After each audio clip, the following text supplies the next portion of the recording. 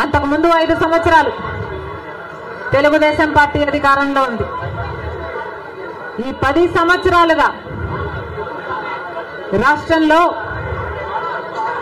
రాష్ట్రంలో అభివృద్ధి జరిగిందా అంటే ఏమిటి సమాధానం?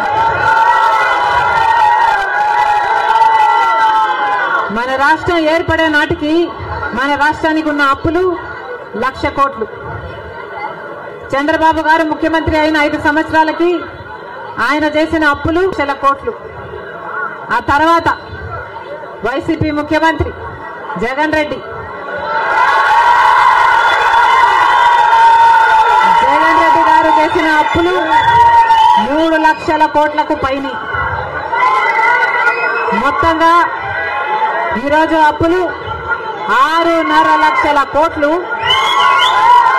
రాష్ట్రానికి చెందిన అప్పులు కార్పొరేషన్లకు చెందిన లోన్లు చెల్లించాల్సినవన్నీ కలుపుకుంటే పది లక్షల కోట్ల అప్పుల భారం ఆంధ్ర రాష్ట్రం మీద ఉంది. మరి ఇంత అప్పులు చేశారే? ఇన్ని డబ్బులు తెచ్చారే? మరి రాష్ట్రంలో ఏదైనా అభివృద్ధి జరిగిందా అని భూతద్దం పెట్టి చూసినా ఎక్కడా కనిపించదు. రాజధాని ఉందా? రాజధాని కట్టగలిగారా?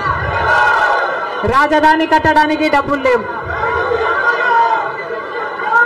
కనీసం ఒక మెట్రో ఒక మెట్రో అయినా ఉందా? ఆంధ్ర రాష్ట్రంలో ఒక్క మెట్రో అయినా ఉందా? విజయవాడలో కనీసం ఒక్క మెట్రో అయినా ఉందా? ఎక్కడా లేదు. కనిపించదు.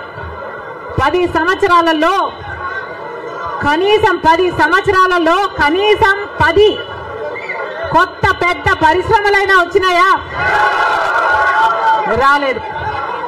పరిశ్రమలు వస్తే మన బిడ్డలకు ఉద్యోగాలు వచ్చేవి. వచ్చినాయా మన బిడ్డలకు ఉద్యోగాలు? రాలేదు. కనీసము రోడ్లు వేసుకోవడానికి కూడా కనీసం రోడ్లు వేసుకోవడానికి కూడా డబ్బులు లేవు ఆంధ్ర రాష్ట్రంలో.